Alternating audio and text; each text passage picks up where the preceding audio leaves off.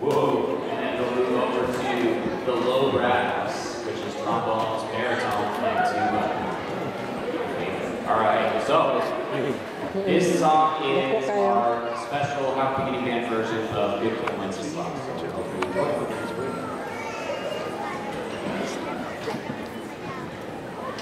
Can't